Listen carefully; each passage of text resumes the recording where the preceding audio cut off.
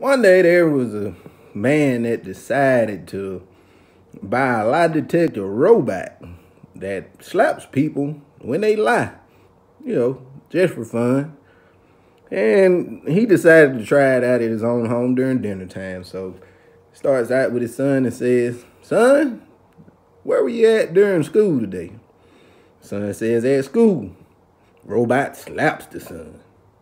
Son says, okay, dad, I was at my friend's house watching the DVD. Dad says, which one?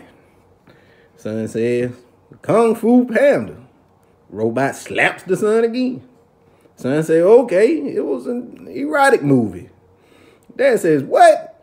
When I was your age, boy, I didn't even know what an erotic movie was. Dad gets slapped by the robot. Now the mom sitting across watching all this goes on, she busts out laughing and said, he is your son after all. The robot turns around and slaps the mom. It's Cabinet Carl, baby.